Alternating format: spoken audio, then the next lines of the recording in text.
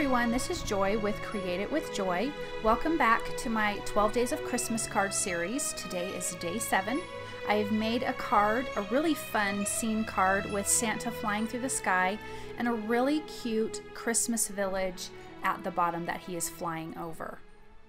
So first off, I'm going to color all these cute little characters, and these are from Mama Elephant's Santa's Sleigh. And I'm also going to be using my Zig Clean Color Real brush markers to color these cute little characters. I will have all the colors I've used listed on the screen. And I'm also going to be using my water brush pen.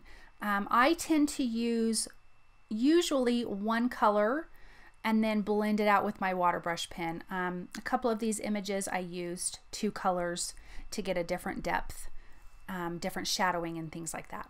Excuse my arm, guys. Sorry, I was reaching for more colors. So for the Santa faces, I am using beige and oatmeal. And the reason I have two Santas on here is because I planned on just coloring two to have another Santa for a different card that I plan on making. Now these cute little reindeer, but I swear they're dogs, they are so darn cute. Their little facial expressions, like they're just so proud and I just absolutely love them. So for their um, antlers, I am using brown and just blending it out with my water brush pen. And I just have a paper towel to the side so I can wipe it off because that water brush pen will carry that color to another image. And so you have to be careful. The same with your um, zigs. If you've blended with another color, just give them a little wipe off. So that's how I do it. I do the dark around the edge and then you can see I just blend out with my water brush pen to get that same shadow and effect that you would get using an alcohol ink marker. And I love these little guys. Oh my gosh, they're just so cute. So I left in the coloring because I really do like to watch people color. There's something ultra satisfying about that. But this little stamp set is so sweet. I love all the little presents. I love his sleigh. I love that you get two Santas in it. I just think it is so adorable. So of course I gave him a little red nose because he needed to be Rudolph because I think every reindeer and or dog aspires to be Rudolph. So here I'm going to color this guy in a different color. Actually, I think he is actually brown and the other guy was um, mid brown. Or I might have it backwards. One of the two but I wanted them to stand out different from each other. So add just a little bit of water, add a little bit more dark around where I wanted it shadowed, and blended it out. Really, they're so super easy to use. I feel like I can't really mess up. I mean, I have messed up, but I don't feel like I can, it's really a problem. And so here is, I believe this is a natural beige that I used on this little cute little pup riding in the sleigh.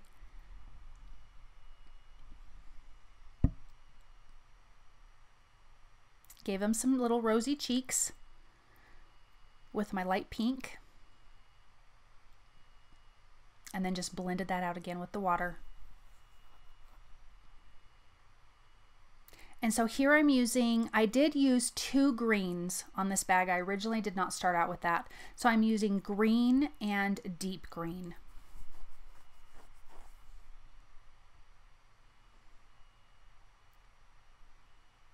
And sometimes when you squeeze the water brush pens, you do tend to get a little too much water, and I think that's what was happening there. You just dab it off until you have the right amount of water that you work with. I like to personally use um, not too much water I feel like I can't control it that great. So here's the deep green that I brought in around the edges and you can see how much that darkened it up and it really gives a great contrast.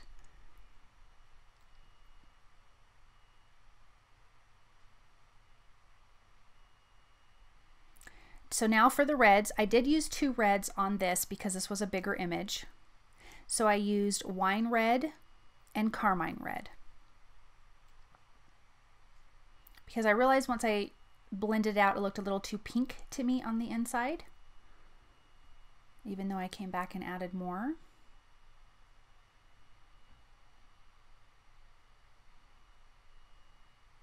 I love this sleigh. And then I colored that little patch on the bag red also. You can make so many cute scenes out of this stamp set, I think. Coloring in these presents with the same reds, blending those out.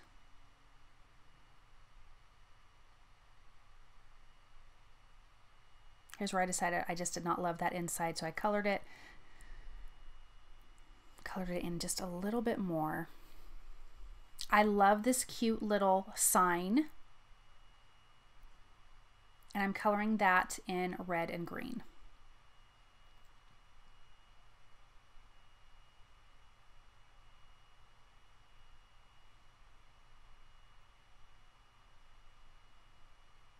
Really, it didn't need too much blending, but I did it anyways. So you could color this and stamp whatever you want to stamp on it later, or you could stamp it first and then color it. I just decided I was going to stamp on it later. They needed their little collars to be green.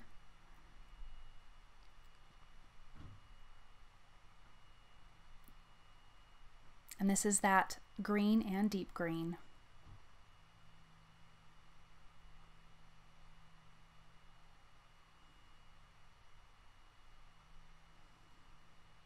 What I also like about these markers is their tip is very fine, so you can kind of get into little spots really super easy. Now here's turquoise green that I'm using. Absolutely my favorite color in the whole wide world. With a cute red bow.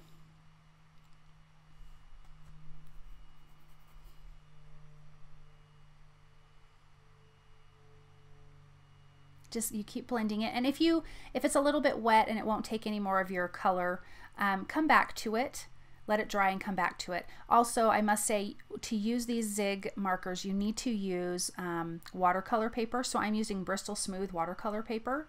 If you use it on regular cardstock, they it just does not work.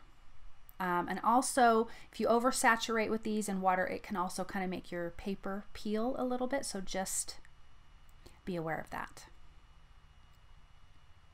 Finish coloring in his cute little sleigh.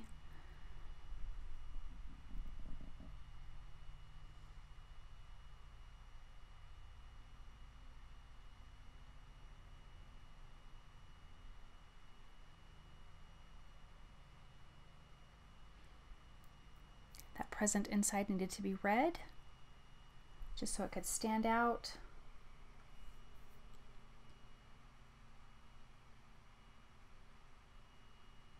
And of course, time to color Santa. What a cute little Santa. I love his face. He just seems very pleased. now again, this is wine red and carmine red.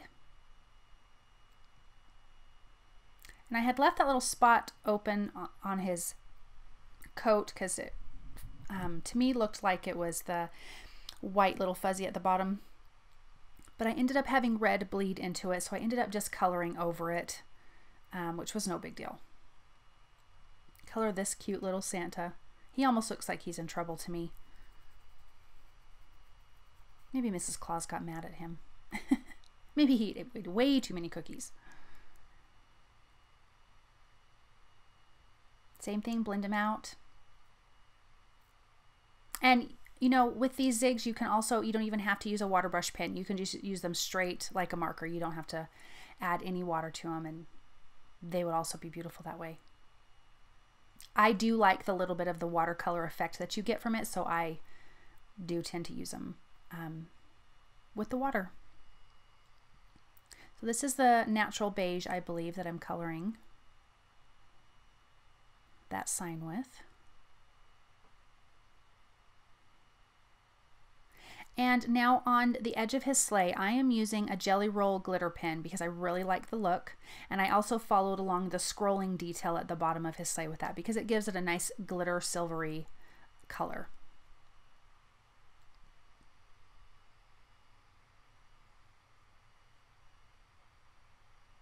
Now I'm using my light gray on the white parts, be really careful because this is where I made some red bleed into my white.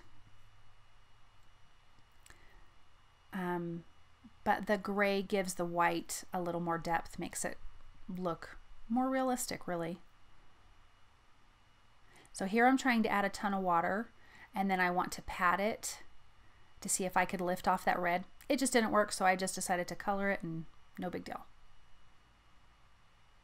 Use the coordinating dies, cut all of those out.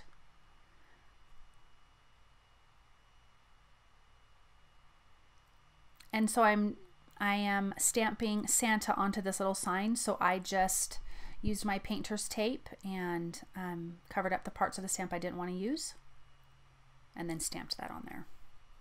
My original thought was I was going to make two cards, but I did not. So now here is the, the Lawn Fawn Snowfall Landscape Backdrop. And I am using Distress Oxide inks in Stormy Sky and Black Soot. I really wanted this to look like the middle of the night kind of a sky. And I, these two combinations to me look fantastic. And they blend so nice together.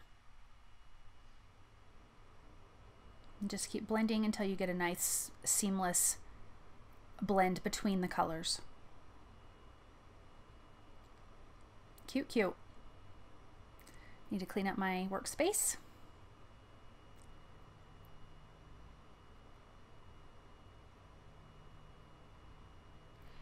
So now I am going to be using the Lawn Fawn Stitched Hillside Backdrop Portrait. And my thought was I wanted a little town underneath. I wanted a scene, but I did not want it to detract from Santa Claus. I wanted him to be the main star of this card. So I'm also using Lawn Fawn's Stitched Hillside Border. A couple of those. Get those adhered and I cut all of this town, the trees, the houses, and everything out of white paper. Because again, I wanted to see the town, but I didn't I didn't want to it to be in your face and colorful. I just wanted to see Santa flying through the sky. Now I did add some glitter and stuff to the trees in the house because I didn't want it to look like I just didn't finish the card. so here are these cute little houses that I die cut and all the little trees. Just using the Ranger Multi-Matte Medium. I'm going to adhere those and I will inlay back in the little white pieces, the windows and the doors, where that you could normally add a colored door or um, your light in the window or whatever, but I just really wanted it to be super plain. Adding the trees, just have this cute little town underneath Santa Claus. So, I mean, I guess you could do this, you could make it all black and it would feel even more dark, or a gray. You know, a gray you'd probably notice a little bit better. But I liked the white because it made it feel very snowy and Christmas like. And I did gl um, glue on the little roof lines. And I'll be adding Nuvo Glitter Drops and White Blizzard to that because I did feel like you still need a little bit of glitter. Here I'm inlaying all the window and door pieces again.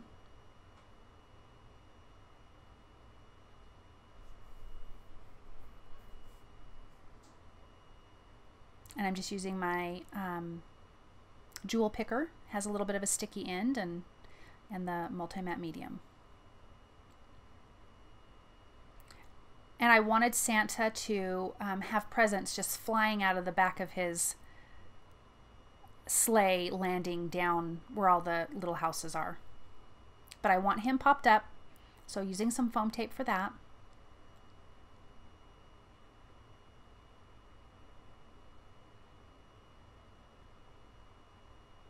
Get it in some of those little fine detailed spots.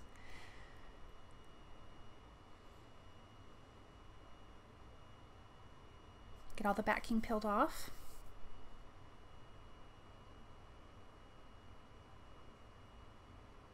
And kind of have him like he's flying up high into the sky.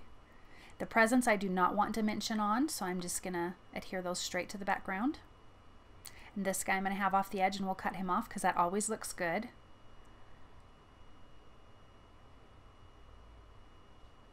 So we'll have the big old reindeer, puppy reindeer, adhered straight to the back, and then the little guy we will pop up with foam tape to give dimension since they're flying side by side. Now here was my dilemma is he needed some reins and I just did not have thin enough black anything like thread or yarn or anything. I would have much rather have done that. Um, because I ended up doing it by hand, which really made me sweat. it scared me to death. I thought I was going to mess it up. So here I'm adding um, some score tape to the back. And then I will also add some multi-matte medium. And I only added the score tape where there is images on the front so you can't see, see through that. And I will be adhering it to an A2 size card base. And I used Neenah Classic Crest Solar White 110 pound cardstock for that. And get that attached down. So when I decided to draw the reins, I did it with a pencil and I traced it very lightly first because if I messed up, at least I could erase it. But I really was having a heart attack here. My heart was pounding super hard. okay, so before I did that, I'm going to add some black glaze pen to their little cute noses and the eyes of that cute little pup. And some white jelly roll pen to their cheeks.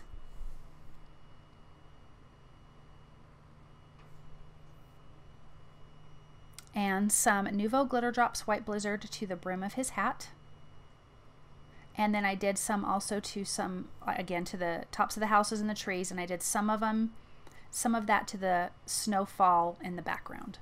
Just so you could have a little bit of glitter coming down. But this added detail to the all white scene below without detracting from the scene above.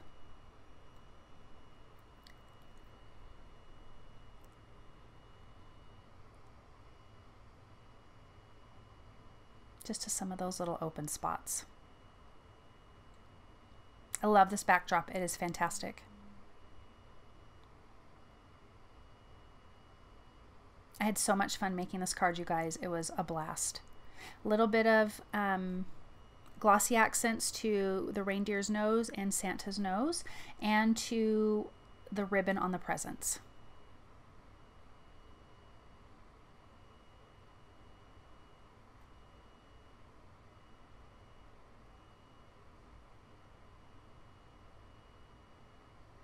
So now the stamp set that I'm using is Santa Claus is Coming to Town, which is so fitting. And I'm going to be stamping that in the Stormy Sky Distress Oxide ink because I really didn't want any black ink down there. Again, I want it to be super soft and not super noticeable.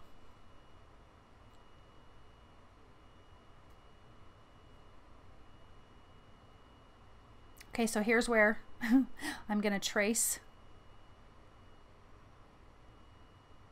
this cute, um, the reins for the reindeer.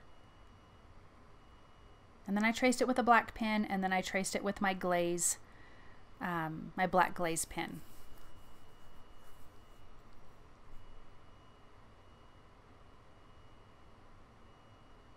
You guys, I was so nervous. Like, if I ruin this card right now, I for real am going to have a heart attack. Thank goodness it turned out. And I'm so sorry for my head. I had to be right over.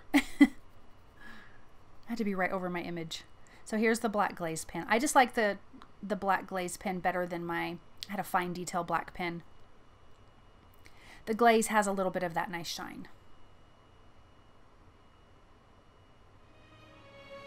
Thank you guys again for stopping by. I hope you enjoyed day seven of the Christmas card series. If you like what you've seen, please thumbs up and subscribe to my channel. All the supplies I used are listed below. Come back tomorrow for day eight of the 12 Days of Christmas Card series. Have a wonderful holiday, and I'll see you tomorrow. Bye!